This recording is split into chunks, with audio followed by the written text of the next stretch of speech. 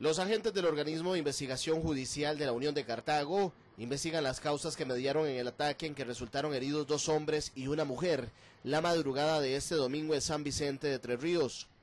Según trascendió, los hombres identificados como Anthony Ábalos y Ernesto Morales de 24 y 38 años respectivamente, así como la esposa del segundo identificada como Lauren Chacón de 28, recibieron varios impactos de bala luego de que les dispararan desde un vehículo en movimiento. Chacón, quien resultó con una herida en su cadera, y Morales, quien recibió un disparo en la espalda y otro en el antebrazo izquierdo, fueron trasladados hasta el hospital Max Peralta, mientras que Morales fue remitido al Calderón Guardia con un disparo en su brazo izquierdo y otro en su mano derecha.